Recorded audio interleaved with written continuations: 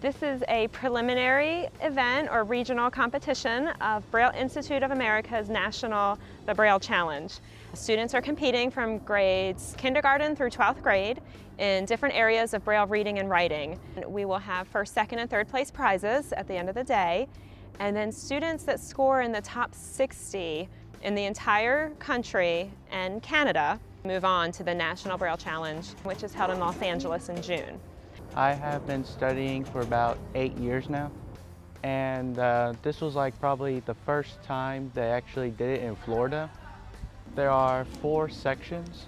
Each one is comprised of a different skill of uh, proofreading, uh, reading speed and accuracy, reading comprehension, and charts and graphs. And I enjoyed it quite a bit maybe they haven't had a lot of opportunities to, to experience the competition. And so they hopefully leave at the end of the day feeling accomplished. They also have the opportunity to meet each other. We have students from six different counties around Central and East Florida, and maybe they're the only ones in their entire county that are reading Braille. For the younger children, they um, just see all these older students as positive role models. Or they're not competing, they're in what's called the pre-Braille group. So they're still learning Braille. So we want them to see their older peers that, okay, next year I'm going to be competing for prizes. We can't just teach kids by showing them something. It has to be hands-on, it has to be um, tactile, they have to have experiences. So the kids were taking turns, they had to pop the balloon somehow, and then search for the Braille word that pops out of it.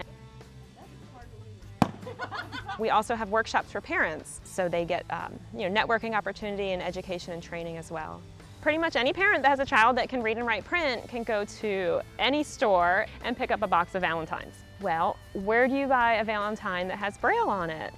So we decided to bring in lots of materials, just anything that has a, a texture to it so that parents can, you know, can give their children something that's very meaningful instead of just a, a piece of paper. You know, they, they don't know what it says. If you could not write anything down in your life, then how would you function? Writing down phone numbers, addresses. If you were writing an essay, would you be able to just um, speak your essay into the computer and listen to it and trust that your grammar was correct and your spelling and your punctuation? Our students need to have a means of producing information and then having immediate access back to it.